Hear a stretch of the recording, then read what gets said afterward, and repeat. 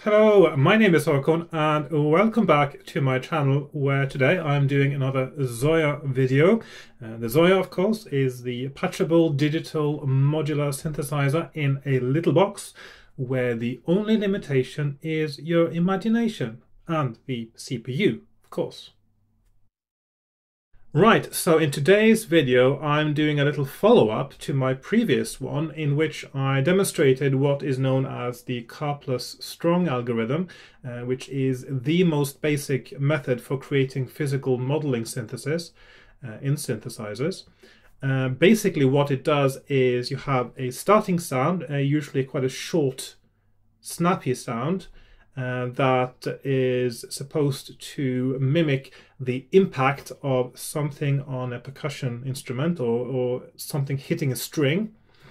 And then you run that sound into a delay or a delay line on, on the Zoia and from the delay line you send it into a, a, low pass filter and then you send it from the low pass filter to the audio output and back into the delay line making sure not to run it too hot. So it uh, overdrives and uh, creates a beeping sound. And that is the most basic physical modeling synthesis you can do uh, and um, it uh, was invented by somebody called Karplus and Strong I presume hence the name. Um, and it's great for uh, percussion sounds, for plucked strings. Uh, you can get different percussion sounds as well. You can get things like hand drums. Uh, you can get um, slightly bit like mallets and woods and claves uh, kind of sounds, also glassy sounds as well. Uh, so it's a very versatile uh, little little thing. Actually, I'll just play you just so I got So this is just, uh, yeah, just a few different sounds running through there. So that's that's just an evolution of the patch I had last time. Um, but then um, I was thinking uh, a few days ago that, uh, or yesterday I should say, that it would be interesting to find out how to also create more continuous sounds. And I remember that a while back I was trying to do something entirely different with um, I was trying to tune noises through filters uh, for, uh, I think it was when I was working on my distortion patch. And I came across this kind of effect. And you can see this. Uh, this patch is called Can't Whistle because it sounds like somebody who's trying to whistle, but they don't know how to do it. But when I was doing the Karplus strong algorithm for the other patch, I was thinking that, hmm, what if I run this kind of sound, a tuned noise, into a Karplus strong resonator, um, and the result is as follows. So I can just show it. So we got here. Uh, with some modifications, of course. This is how it ended up.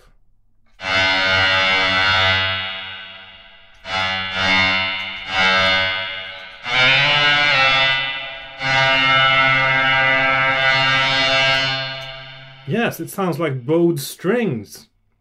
And I thought that was quite interesting. So, um, so I worked a little bit on this patch now, and uh, it can create quite interesting range of bowed string sounds. Uh, of course, they are not just like the percussion um, in in the other video um, using the resonator. Um, it's hard to tune it in a useful way. So I'm sure there are that that's I haven't got that far yet, uh, but um, as a kind of atmospheric string effect, uh, it can work really well. It certainly creates quite a sort of a dark, foreboding, brooding string sound. Um, that can be quite useful in in um, soundscapes, dark ambient things like that. Uh, you can make it into a drone, I suppose, as well. Just keeps going. Um, and that is the uh, subject of today's patch how to create at least one possible way of creating a bowed string sound uh, on the Zoia with um,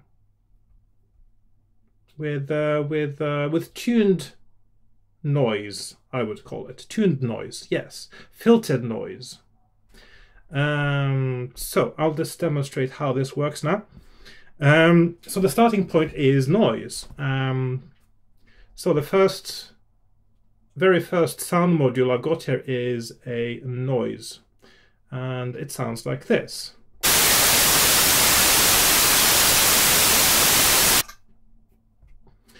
Um, and that's a starting sound. So I run that into a VCA um, that is uh, got its volume, um, its amplitude de decided by an ADSR envelope here. And after the ADSR envelope, it sounds like this. Uh, so just a little word about the ADSR envelope. In the uh, percussion patch I did uh, last time, the um, the sustain and release stages of the ADSR envelope were not used. But because this is a continuous sound, um, the values you put in for sustain and release actually make a big difference to the sound quality. So it's got a longer attack generally now than you need because you have the attack of the bow on the string. Uh, you need a little bit of time. There's a bit of decay uh, sustain usually sounds quite good with sustain around half, so 0.47 is what I've got now, but I've made it adjustable, of course. Uh, and then release, uh, not too long, uh, it sounds a little bit unnatural with too long a release. Uh, something like 240 milliseconds is a good uh, time, but you can experiment if you want to try this at home, of course, and try different things. So at the moment, those are the values, and this is what that sounds like. Uh, from the VCA, I'm sending it to two places now, and um, and this is where the thing comes in because I was working on distortion. You can see here that I've actually got it through a overdrive and distortion module here. Uh, which doesn't make a huge difference to the sound, but it seems to make a difference further down the line how the sound starts out, and it sounds more uh, natural as a string sound if I also run it through an overdrive as well. Uh, so the overdrive stage, um, so I'm just making, I've just got these buttons on the side here now to listen to it at different places in the audio chain, and I've just done that for the sake of demonstration. I'm not going to show you how to do this now, but um, I think I've done something like this before and explained that in another video. And if I can find that, I will link to that up here. Otherwise, I will do a video on it some other day. Um, anyway, so so after the ADSR, after the overdrive, the difference isn't huge, but it does seem to make a difference further down the line. Uh, the little shaping of the initial sound is um, amplified uh, because of the resonator as well. So the output of the distortion and also the output of the VCA also goes into a multi-filter and this is set to uh, a bell curve. Um, I've tried different things here. I tried band pass, but it seemed the most pleasing and most or most natural, I should say, uh, bowed string sound seemed to come from using a bell curve um, filter, first of all. Uh, and the frequency here is, of course, adjustable. Uh, I've got two sort of main parameters that I adjust, and that's frequency and uh, uh, delay time, which of course adjusts the resonator size. Um, so all the filters I use are controlled by the same control for frequency. So that's the center frequency for the bell-shaped filter. Now, you may notice here the resonance is actually really, really high, and that is because uh, we are trying to tune the noise um, to more closely follow the frequency that you want. Uh, and one of the ways you do that is by running a noise into a bandpass or uh, in this case a bell curve filter and using a very high resonance which will then amplify and bias the frequencies of the noise, which are all over the spectrum, uh, that correlate with the frequency you want. Uh, and after that stage, it sounds like this. So it's a little bit tuned, but not sort of super, super tuned. Uh, and of course, indeed, uh, the bowstring or the bow on a string, on a stringed instrument, uh, doesn't in itself create a very specific note. It's the vibration of the string and then the resonance that creates the, the note to a higher extent. But that's enough for us to get a kind of starting point here. Um, the output from this bell curve filter is then run into a delay line, which is our main resonator control. So it's using the audio module delay line rather than the effect delay for this. Um, and the delay line uh, module is set to the shortest maximum time, which is 100 milliseconds, because we only use the really short times for this. Uh, indeed, when you get close to 100 milliseconds, you can actually hear the delay a little bit, and it doesn't sound like a natural vibration of a string anymore. Uh, at the moment, it's at to 4.79 milliseconds here. Uh, and that sounds like this. And of course, yes, uh, before I go further, of course, the output of the delay line is then sent into a filter, and this is a low pass filter. So this is our Karplus strong resonator here, delay line and filter. And the output of the filter is both going into the delay line again with a connection strength minus 0.6 there, which is 93.32%. Uh, now, in my percussion physical modeling video, you may have noticed I used less than 80% connection strength for this.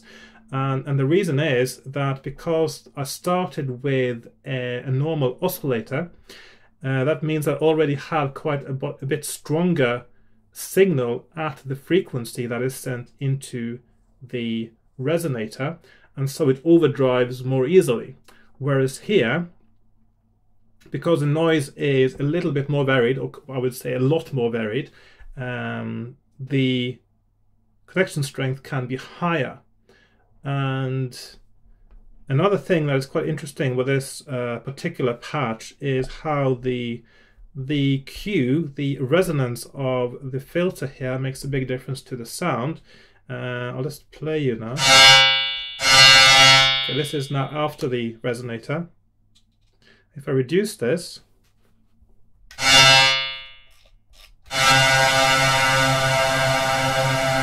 you can hear the difference quite quickly. Now it just sounds like somebody blowing air into a tube or something like that. But as I increase it, it sounds more and more like a bowed string and it sounds yeah that's 0.9 is quite high there. You can hear it's almost self-resonating there.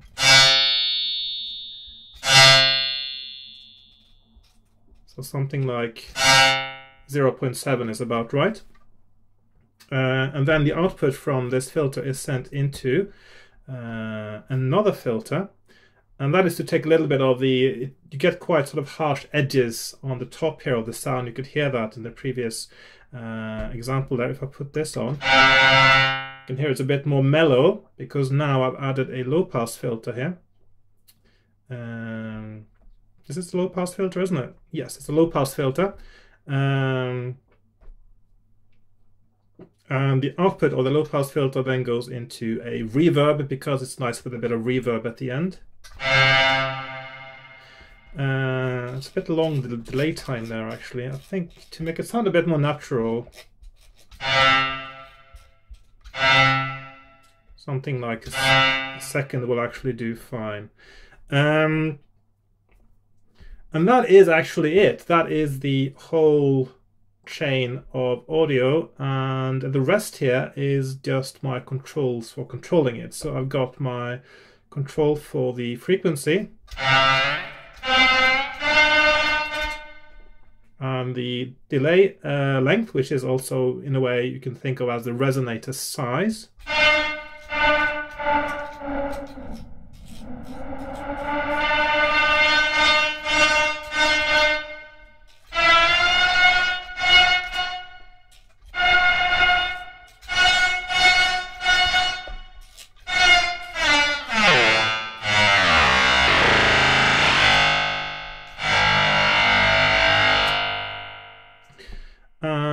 The controls this is let me think now is that is attack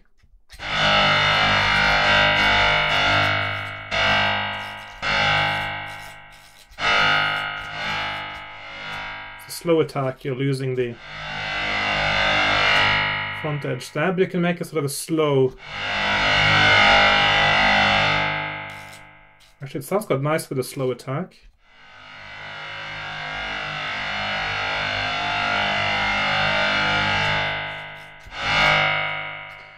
And then it is uh, decay.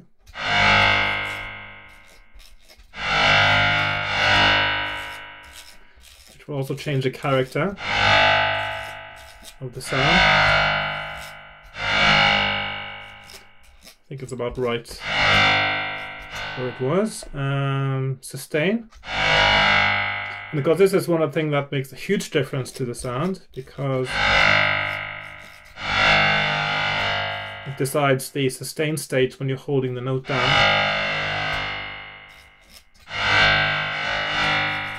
And remember for the percussion we had no sustain stage at all like this.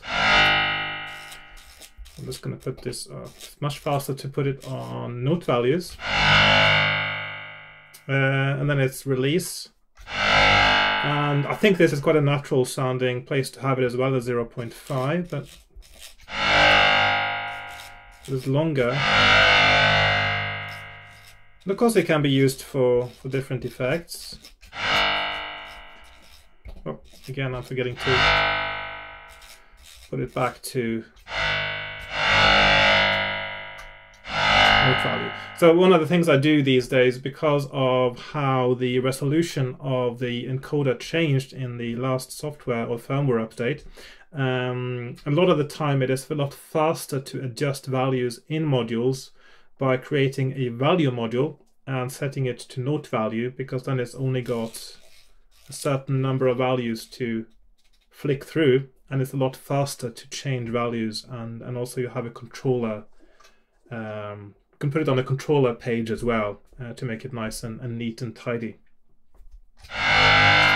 So that is how that works. That is the string patch there. Um, and of course I got my audio output down here.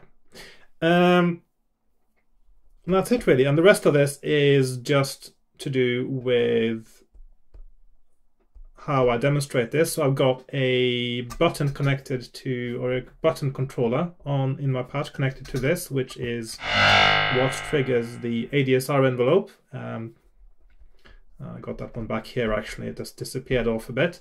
Um, and I've got the mechanism here for these buttons on the side uh, to select which part of the audio chain you are listening to. This is for demonstration purposes, of course, so you don't need to include those if you're making this uh, yourself.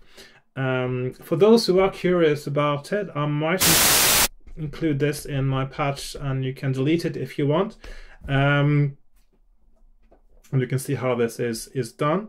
Uh, but I'm not. This is not a tutorial about that, so I'm not going to say anything more about how that works this time.